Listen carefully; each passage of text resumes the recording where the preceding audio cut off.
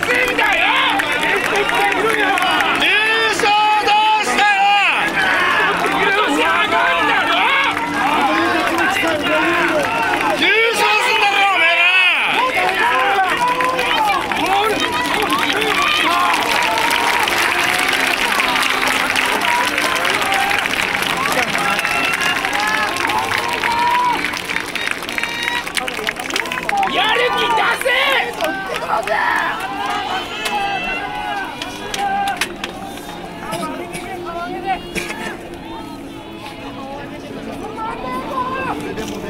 皆さん暑い中お疲れ様でした。今日もありがとうございます。